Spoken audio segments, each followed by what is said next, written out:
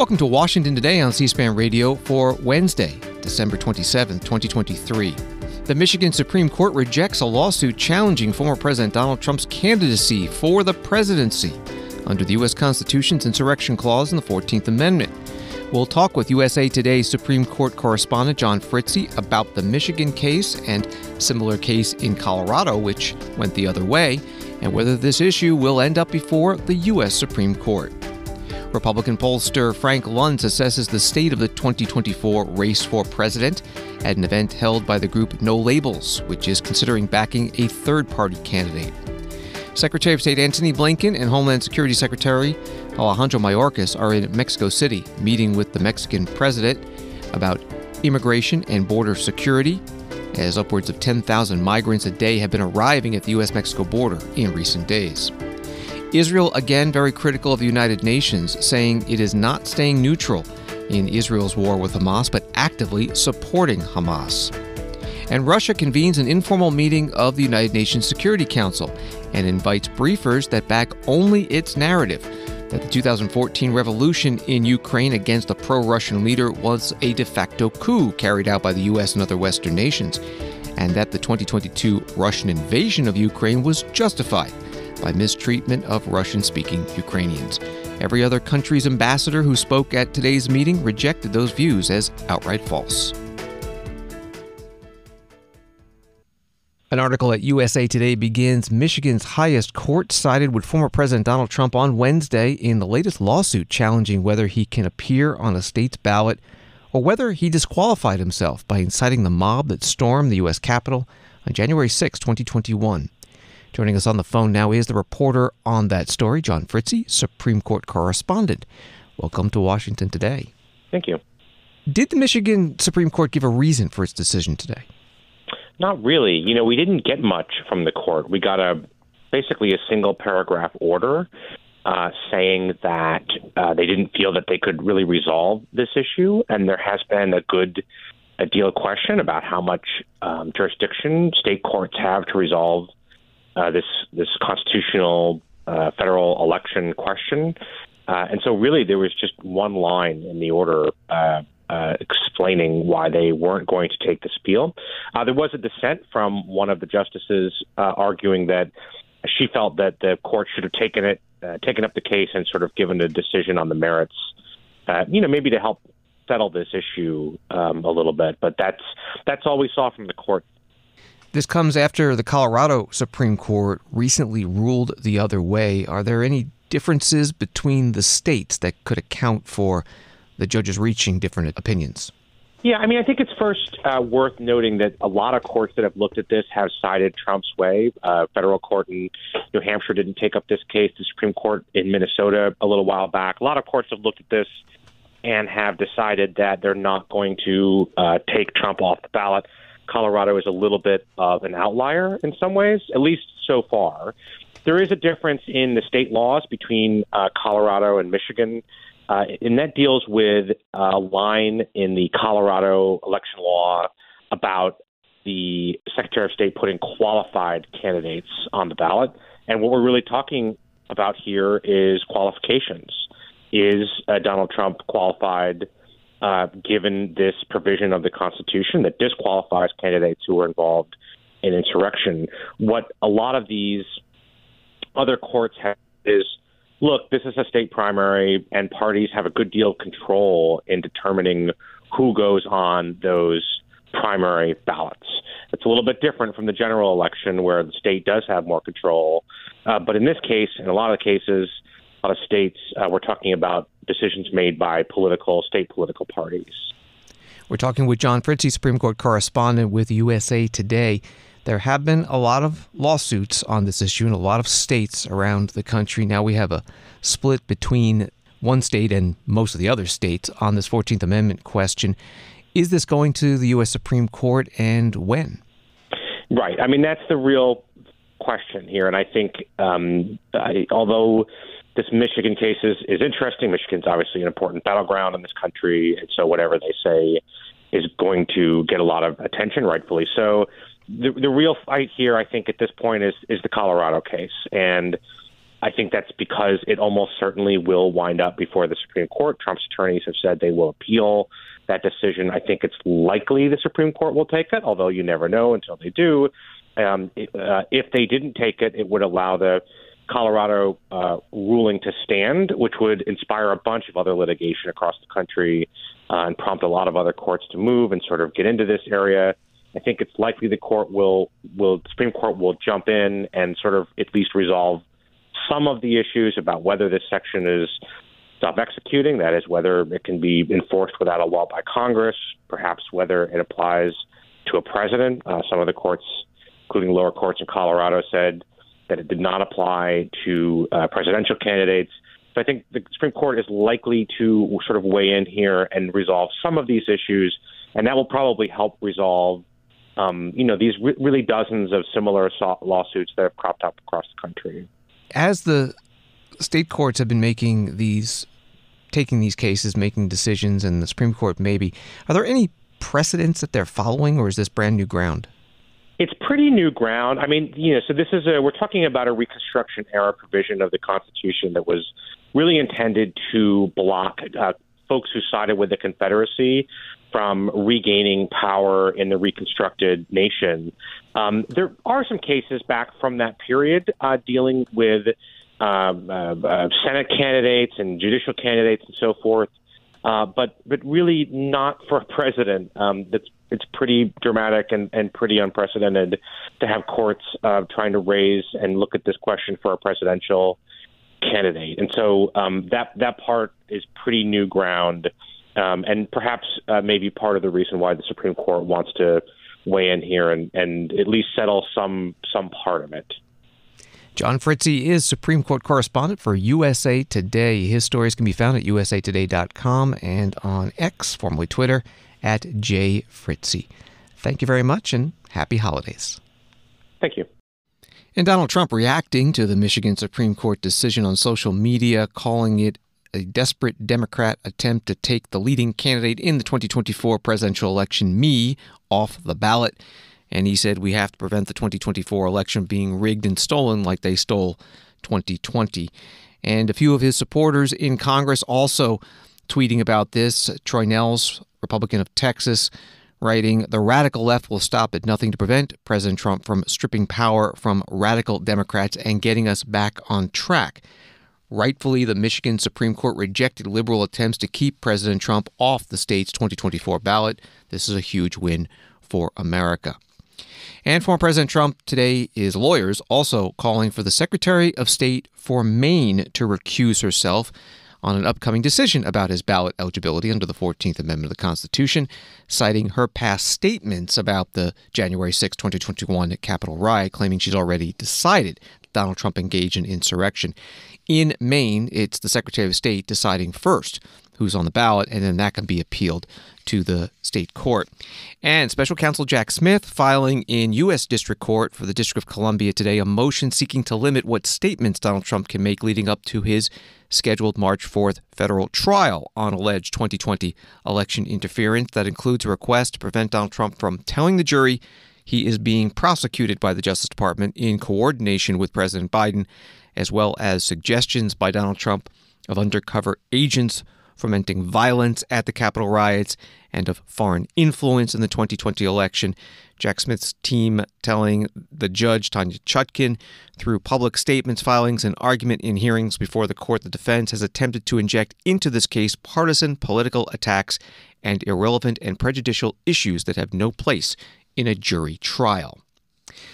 Pollster Frank Luntz spoke today about the 2024 race for president in a virtual discussion hosted by the group No Labels, which may support a third party candidate. And he talked about the viability of such a candidate.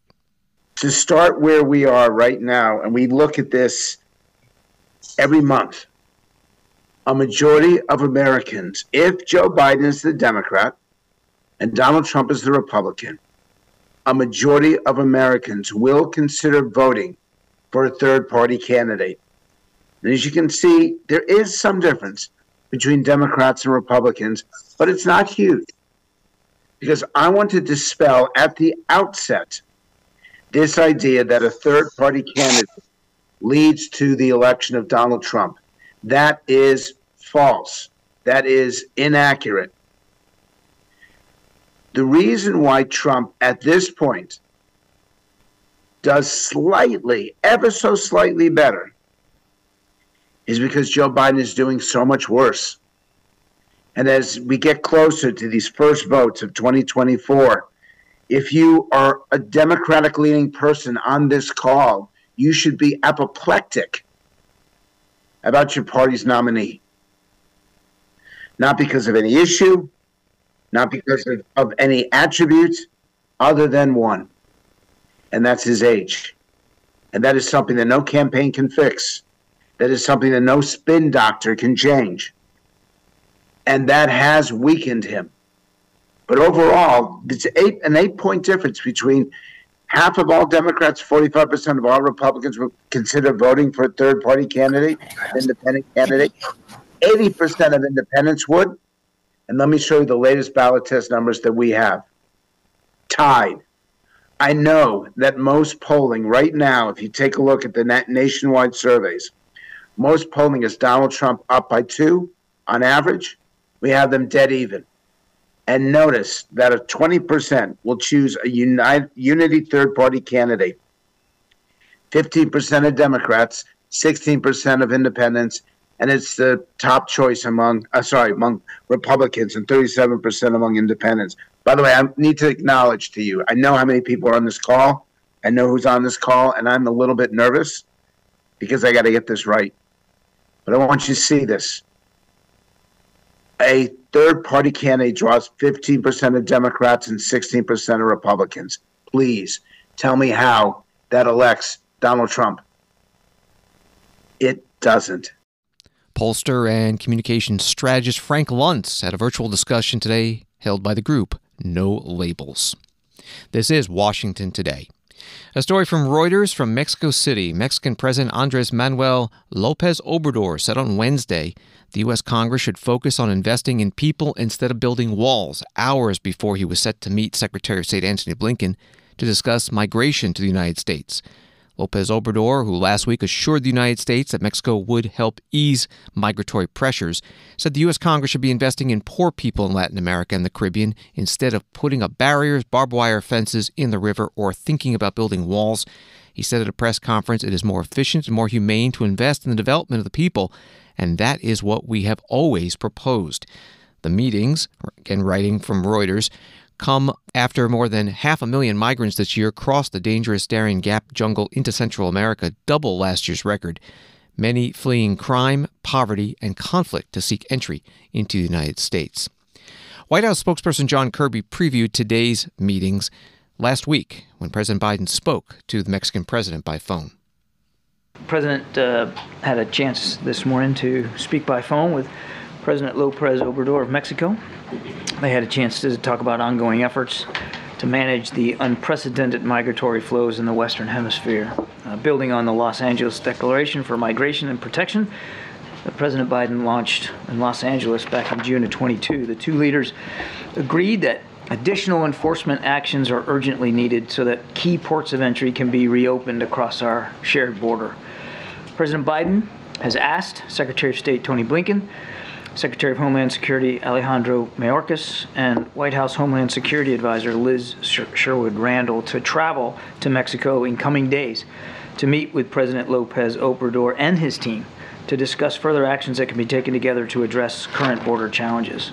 John Kirby, spokesperson for the White House National Security Council, last Thursday in the White House briefing room, and those meetings with those three Biden administration officials in Mexico City with the Mexican president are happening today. CNN reports that ahead of Wednesday's meetings, Homeland Security officials have discussed a range of ways Mexico can help drive down numbers at the U.S. border that will be among their asks, including moving migrants south, controlling the railways that are used by migrants to move north, and providing incentives to not journey to the border, like visas to remain in the country and avoid migrating irregularly.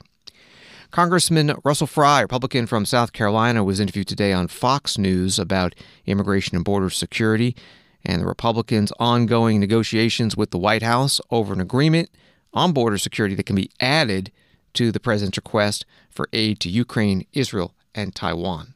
The issue with the border security is how uh, would necessarily uh, are the Democrats proposing to secure the border? What, what would they be giving you in exchange for the aid? Is it just more agents or more funds for processing purposes, or would it actually be to finish parts of the wall, close up the border, stop the migrants from coming through? I saw numbers from 10,000 a day that they're proposing. It would, you know, diminish to 3,000 a day, some sort of compromise of that sort.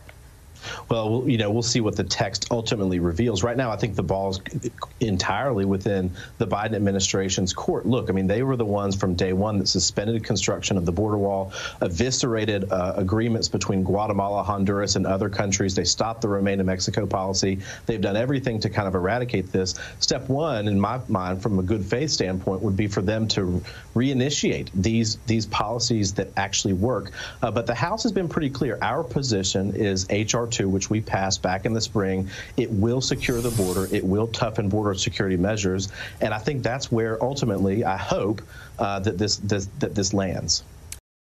Congressman Russell Fry, Republican from South Carolina, interviewed today on Fox News. The House and Senate are still on the holiday recess. They return January 3rd for opening day of the second session of the 118th Congress, but no legislative business expected until the following week. And from the New York Times today, President Biden left the drizzly skies of Washington behind on Wednesday and flew to St. Croix in the U.S. Virgin Islands, where he and Jill Biden, the First Lady, intend to ring in the new year. The Bidens, along with their granddaughter Natalie, stepped off Air Force One and headed to a waiting SUV to start their week long vacation. The Bidens are spending the week at the beachfront villa of friends and longtime Democratic donors, Bill and Connie Neville. The three bedroom home, which is listed on Airbnb for $700 per night, has an infinity pool, private beach access, and unobstructed views of Buck Island Reef National Monument. That from the New York Times. Wall Street today, the Dow up 111, Nasdaq up 24, S&P up 6. U.S. Court of Appeals for the Federal Circuit granted Apple a temporary stay on enforcement of the International Trade Commission's prohibition on Apple selling its newest Apple Watch models in the United States. Apple was found to have violated a patent of Masimo dealing with measuring blood oxygen levels. Apple pulled its Watch Series 9 and Ultra 2 from stores last week. The Biden administration said yesterday it would let the ban take effect. Apple's appeal says it would suffer irreparable harm and wants the court to grant a stay long enough for U.S. Customs and Border Protection to decide whether a redesigned version of the Apple Watches can be allowed to be imported. WABC in New York City writes that preparations are underway for New Year's Eve celebrations in the city, with New York Police Department stepping up security amid heightened tensions over the crisis in the Middle East and an increased terror alert on Tuesday. Mayor Eric Adams laid out a plan to keep revelers safe, calling it a real Herculean task to maintain safety and security during the annual spectacle that is New Year's Eve in Times Square. Here's Mayor Adams at the news conference.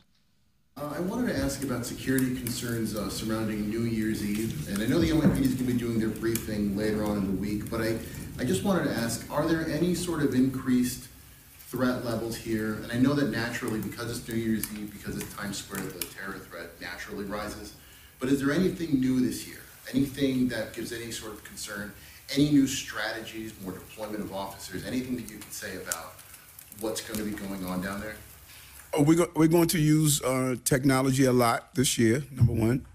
Number two, as you know, there's always a serious concern around safety in New Year's Eve because there's a large number of people. Everyone, you know, look for uh, events like this if they want to do bad things, and the police department is on top of it. Uh, there's an added concern because of uh, the uh, some of the protests you have been seeing, and there was an attempt to disrupt the tree lighting. And uh, we're sure that there's going to be some type of attempt this year uh, to use that stage uh, for some other concerns that people are having. The police department did an amazing job during the tree lighting to to uh, mitigate any form of major disruptions, and they're going to do it this year. Uh, and I just think last year, many people don't recall, in the midst of that, we had that assault on the two police officers, and the NYPD analyzed our response to that, and we're making sure uh, that we don't use uh, distractions to get in the way of staying on our post, staying on our locations, and making sure that we uh, uh, not allow someone to pull us off. There's there's something that's known in policing, um, particularly when there's some type of terrorist action, of secondary uh, devices and things like that. They want to draw attention from one area to go to a specific target area. We are really exercising our mental muscles to make sure that that does not happen. People have to maintain their locations and use minimum deployment from where a particular incident is happening happening so that we do not allow people to take us off our of, of, of our goals. So there's some different strategies that we're going to put in place this year uh, to take into account all of these circumstances. And as always, we're monitoring the chatter.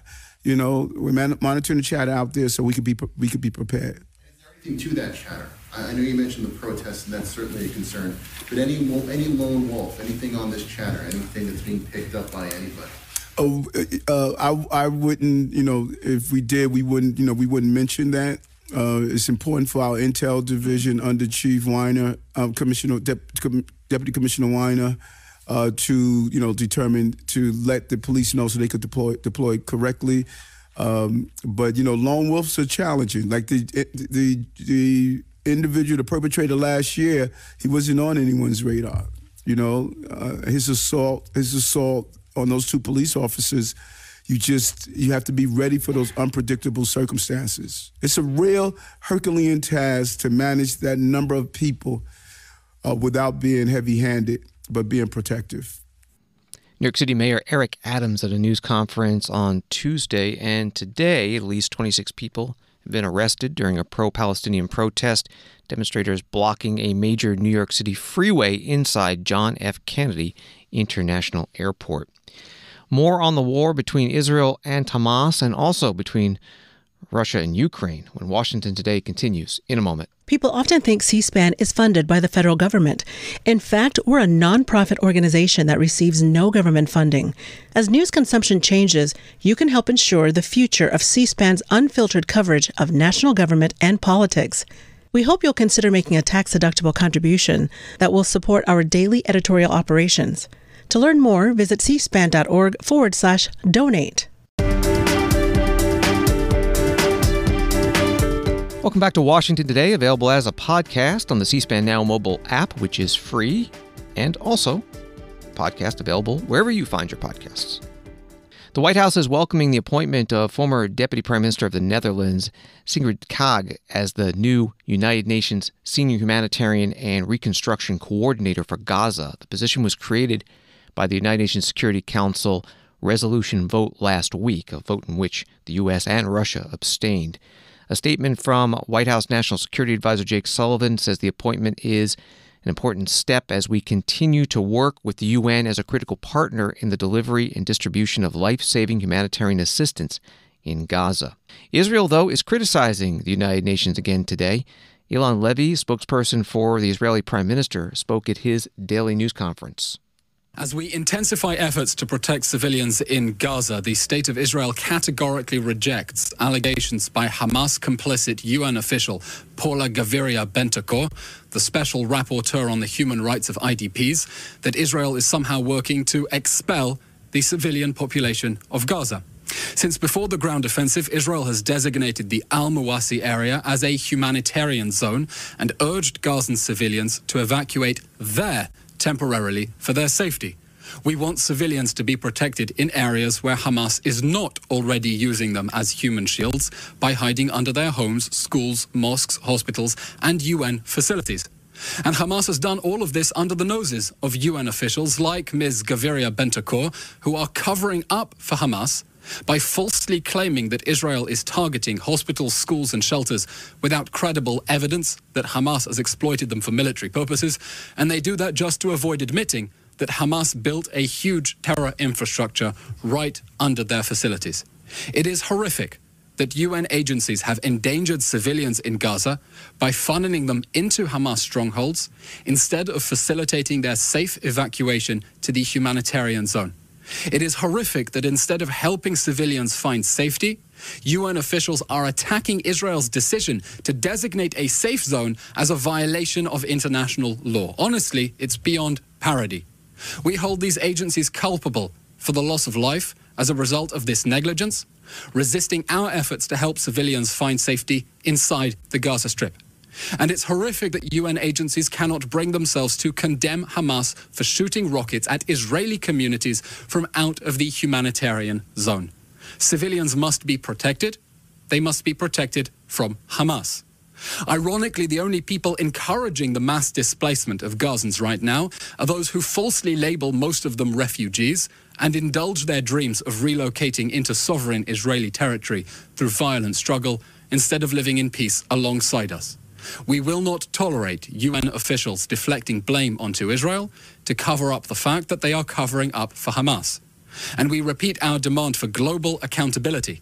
Because when global institutions are hijacked in this way, these Hamas complicit officials let the whole world down.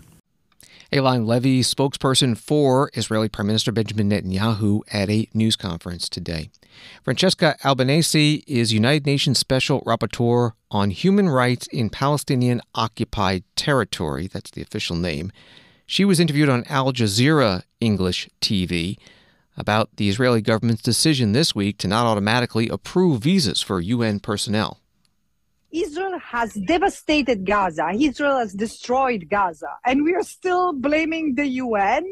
I still wonder how the international community gives credit to Israel and how international media still give credit to what Israeli leaders, political and military leaders says. Israel should be held accountable for what it does. Israel has not done anything to keep civilians safe. Let me give you three examples.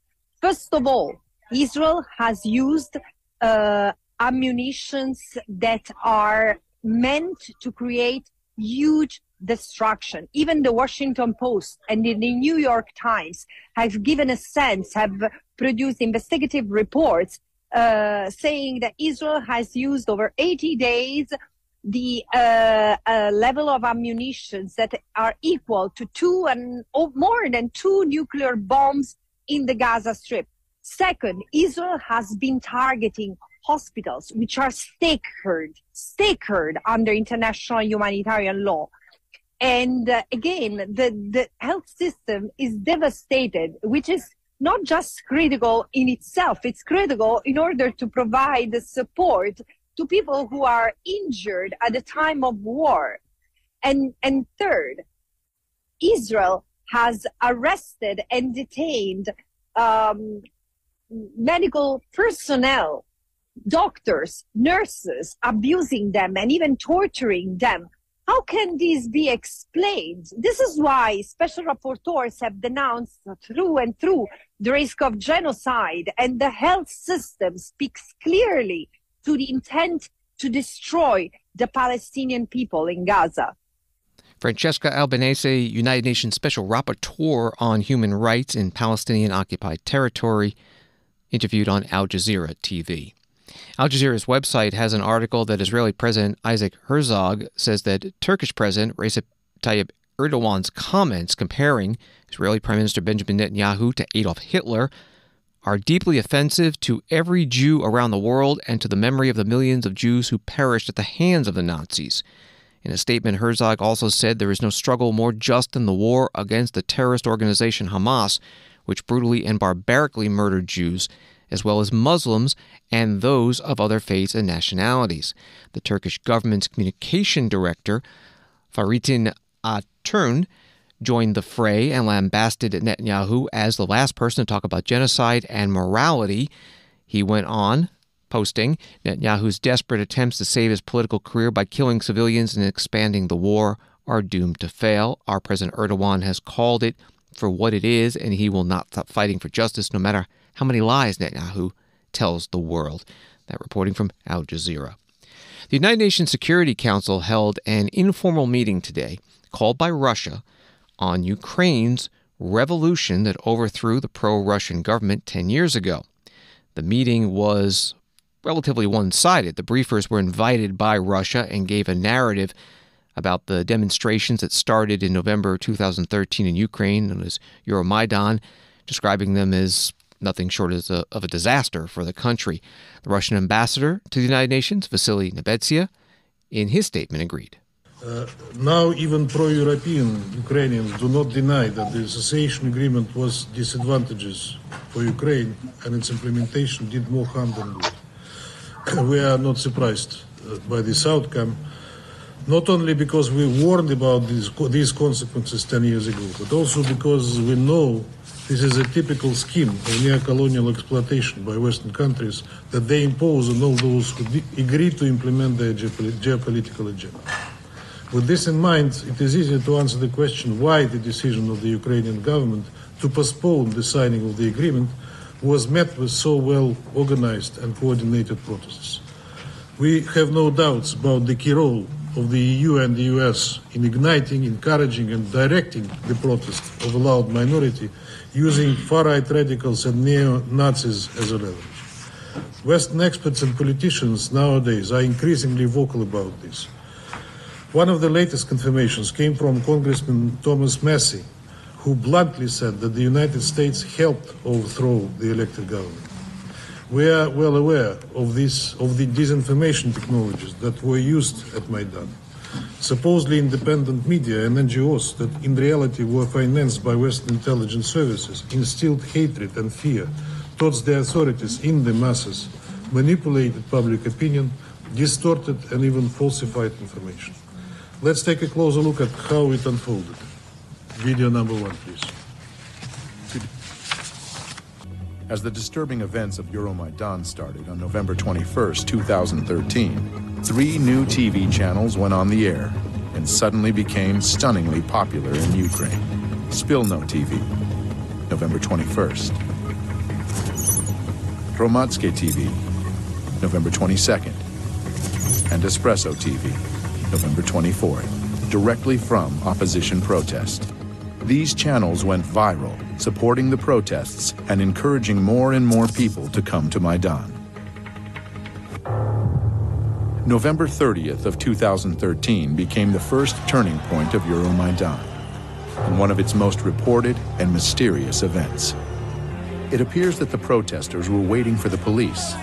Additionally, there were dozens of journalists and cameramen from all the new public TV news outlets prepared to cover the events. And most ominously, a group of well trained young men arrived to Maidan almost simultaneously with the riot police. They infiltrated the crowd and began provocations with insults, stones, and torches. Outraged by what was reported in the news, the Ukrainian people came out in force on the next day to vent their anger with the police actions. In addition to these methods uh, regularly tested in other regions of the world, we witnessed the cynical, undisguised interference of foreign curators in the domestic political situation of Ukraine. The Russian ambassador to the United Nations, Vasily Nebenzia, at today's meeting of the UN Security Council, an informal meeting allowed under the rules held in New York City, called by Russia. And after the invited briefers gave their remarks, and again, they were all chosen by Russia, ambassadors from other countries on the Security Council spoke, including Jason Park, political advisor to the U.S. mission at the UN. Today's informal meeting is yet another shameless effort by Russia to justify its aggression against Ukraine. Today's meeting is another attempt to rewrite history through the prism of the Kremlin's distorted worldview. It is a reminder Russia prioritizes using this council to spread disinformation over the maintenance of international peace and security. We've heard Russia baselessly claim Ukraine's revolution of dignity was a foreign sponsored coup, and more recently allege it was neocolonialism. But let us be clear Russia is a state carrying out a colonial and imperial war in Ukraine. Russia is a state striving to undermine democracy and effect regime change in Ukraine. The Kremlin's war has been repeatedly condemned by an overwhelming majority of UN member states. This war is a clear attempt by Putin to reconstitute a bygone Russian empire by force. We understand why the Russian Federation repeatedly calls for meetings on events from 10 years ago. It is because even after 10 years of organizing the same kind of meeting on the same topic, Russia has failed to sway the international community. The UN General Assembly has repeatedly and overwhelmingly condemned Russia's aggression and its efforts to redraw borders by force in flagrant violation of the UN Charter. We honor the bravery of ordinary Ukrainian citizens who stood up during the Revolution of Dignity for democracy, for Ukraine's right to choose its alliances, and for a Euro Atlantic future. University students and Afghan war veterans alike stood fast in the face of sniper fire and brutal beatings. Over a hundred were killed. Ukrainian citizens put their lives on the line to make it clear to leaders in Kiev, to leaders in Moscow, and to the entire world that they wanted a democratic future. The people of Ukraine chose democracy then. Today, they are continuing to defend their choice, their independence, and their chosen destiny. It is difficult for the Kremlin to understand or accept the possibility of authentic public protest. After all, in Russia, the government seeks to control all information and opinion. Expressions of independent views are increasingly criminalized and suppressed. Russians who publicly speak out against the war are imprisoned. But those who live in free countries know dissent and peaceful assembly are essential to the resilience and success of open societies. Just as the people of Ukraine are unrelenting in defense of their freedom and democracy, the United States remains unwavering in our support of Ukraine and the principles of sovereignty and territorial integrity. Thank you. Jason Park is a political advisor to the U.S. mission to the United Nations at today's informal meeting of the Security Council held in New York City. The meeting was called by Russia and titled by Russia 10 Years of Euromaidan in Ukraine, A Step into Abyss. SecurityCouncilReport.org notes that this meeting comes shortly after the European Union's December 14th decision to initiate membership talks with Ukraine. And an update on the ongoing war between Ukraine and Russia from the Telegraph in the United Kingdom. New images have shown that the Russian warship in occupied Crimea that was hit by Ukrainian long range missiles has been completely destroyed. The Russian Ministry of Defense confirmed that the landing ship had been damaged after explosions were seen yesterday at the port in eastern Crimea, but they stopped short of admitting that it had been hit beyond repair. Thanks for listening to Washington Today. Sign up for C SPAN's evening newsletter word for word. It's free. And get the stories making headlines in Washington emailed to you every day. Subscribe at cspan.org slash connect. Have a good night.